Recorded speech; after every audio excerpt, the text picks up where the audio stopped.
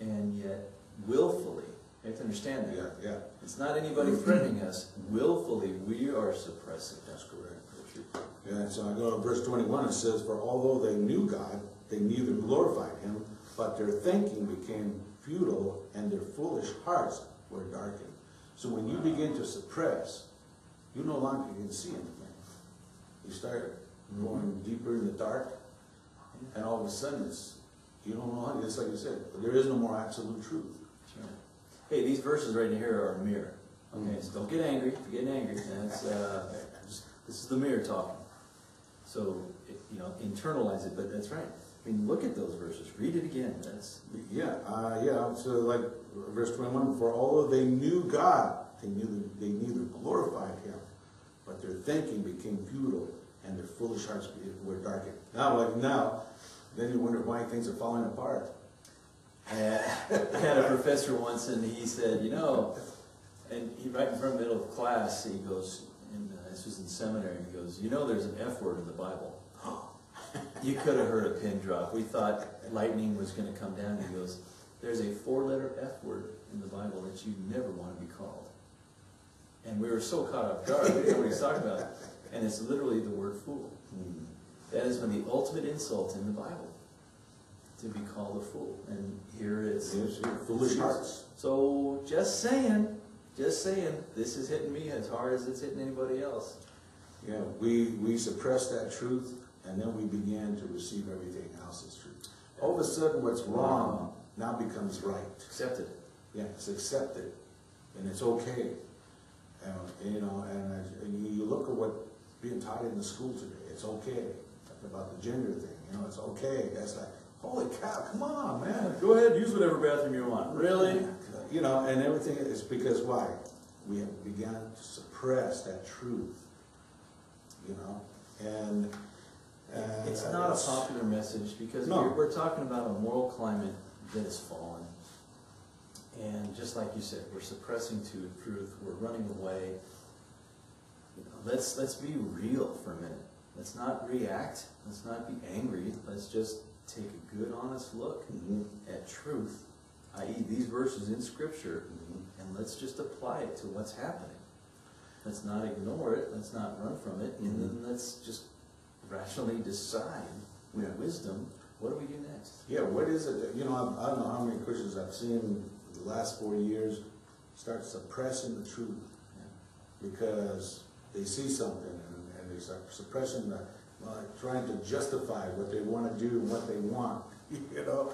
And it's suppress and before their hearts grow darker and darker and darker, and before you know it, Yeah, what's out there becomes okay, accepted, and they literally grow so dark, they no longer, they just grow this numbness that literally, you know. Mm-hmm. as the foolish hearts become the dumbness, you know, right? And they start making those dumb moves, they start making those dumb decisions, those foolish decisions. yeah, And before you know it, what happens? Their families start falling apart at the seams. Their children are falling apart at the seams, you know, and their lives. and their lives and, and all around them, you know, things are falling apart at the seams. And it just goes on from one thing to another. Why? Because they've gone to a place of pressing so much that they actually just fallen in a place of darkness. They no longer can see the truth, absolute truth that keeps them delivered. You know what? I stand at the front of the line when it comes to being dumb, okay? This is by no means pointing the finger at all. Mm-hmm. And I reflect on God's truth as a measurement for my life, as a, as a mirror, and to say, okay, what happened? And I need to reflect and be honest and say, okay, why did I suppress? And a lot of times I'm afraid. I'm afraid as a leader of my family, or I'm afraid as a, a man, I'm, you know, at work, and there's that little fear factor. We all have it, let's be real. If you don't have the fear, you're probably motivated by pride. Mm-hmm. So either way, let's not suppress the truth. Because otherwise, the fabric just keeps fraying apart. Yeah, and God give, had given us an absolute truth called the good news. You know, here Paul is sharing, first of all, he's got to share the bad news in order for the good news, right? That's right. And, you know, there is no good news if uh, you've accepted the bad news is the good news. So, you know, Paul is like, you know, we can't, we can't share the good news if there is no bad news, you know, and it's, it's, there are no morals, Yeah. right? Uh, Unless we're able to, you know, know what those morals are, that, that, that actually, you know, that the spiritual morals, the, prin- the principles that we Well, need to have, you And know? let's be honest, when we don't agree, and there's enough people that don't agree with a Oh, yeah, yeah. truth, It's true, yeah. we not just suppress it, but maybe we'll acknowledge it, but we choose to redefine it. There you go, that's a good one. Therefore, when we redefine it, oh, good, see, I'm not in trouble anymore, I'm not suppressing it, I just don't acknowledge it for what it is, remember? You like my purple paper? It's not purple, it's white. Nah, nah.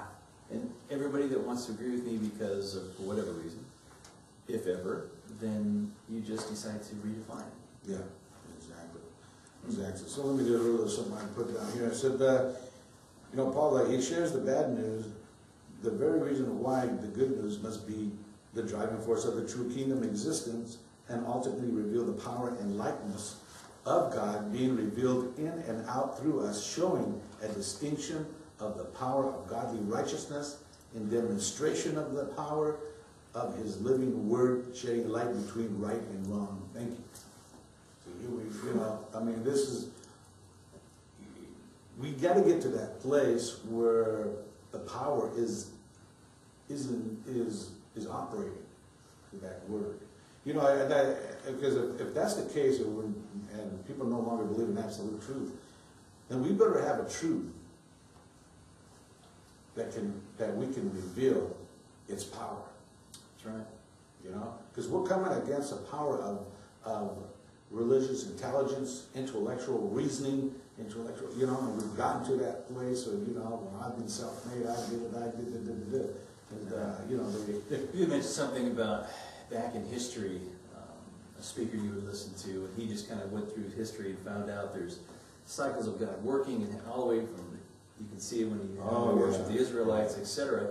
I think if you ever, you know, heard the saying, those who do not learn from history are doomed to repeat it. uh, yes. And if you look back in history, back in, uh, I mean, year, um, year, well, a long time ago, in the Renaissance period back in Europe, we had the age of reasoning. And if you look at the correlation, what happened? Church took a plunge, Mhm. but it was an awakening time. I'm telling you, you're gonna have those moments where the climate, ultimately, call it intellectual reasoning, call it whatever you want, you're gonna see a decline in the moral fabric. That's just a fact. And I think that's a pattern that you can see throughout different periods of history. Um, I'm gonna go out on a limb here, and I'm sure all of you can email in and, you know, nail me on this one. But even the Roman Empire, one of the greatest, if ever, um, fantastic time of prosperity, organization, uh, advancements, tying off with what the Greeks were talking about, but right on the church. Yeah. During that time, massive persecution. And ultimately, the end of that cycle, what happened? It's gone. Let's go back even further. Probably and arguably the best ever kingdom, Babylon. Whoa, yeah. Come on now. Babylon got so, how should we say, conceited Mhm. Oh, that, as it said, as stated in history as fact, their takeover came from damming up a river miles away. Hello, do you think you'd know about that? But I guess there was one very large party going on. So much they didn't see the waters of a river where people snuck in through the waters into. Yeah. Come on, really? That's that's that's fiction. No, that's fact. And wow, how the there's another expression, how the mighty have fallen. Mm-hmm. We need to be careful that we, even at this time, do not become in such a place that we're so complacent and that we don't, first of all, see the fabric falling apart. Two, that we don't acknowledge, that not only we do not acknowledge it, but if we do acknowledge, it, we see it, we don't do anything about it. Because the ultimate conclusion of that is, you know, God loved the world so much that he gave his only son. He loves us so much that he's going to get our attention. He's going to bring us to him. He's always talking. So again, what has he been telling you? And Joel's right. Twenty fourteen is the time of power. Mhm.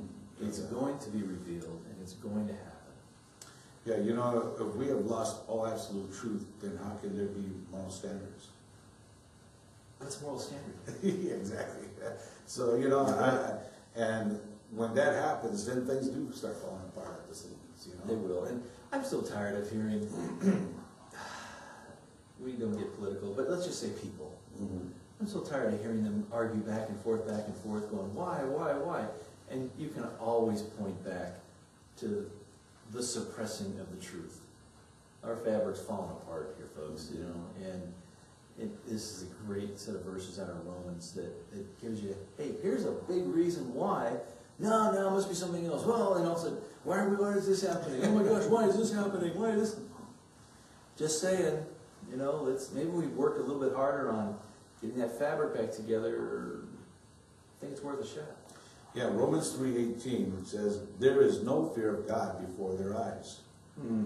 We no longer become conscious of sin, basically. Ta-ha. We have Yeah. suppressed everything, right? So we no longer conscious of sin. We're no longer conscious of the fear of God anymore.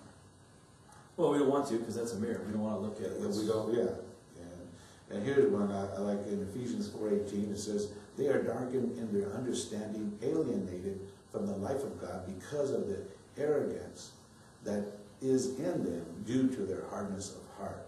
And then what else? Then so, so there's a division, there's something that's dividing.